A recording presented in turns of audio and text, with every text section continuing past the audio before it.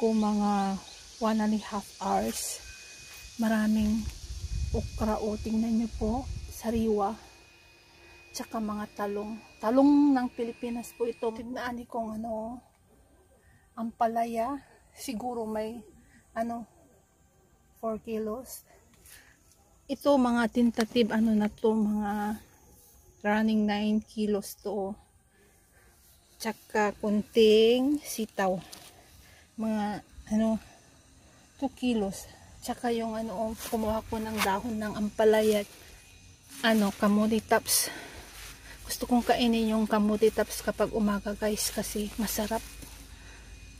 May naari rin tayong pipino.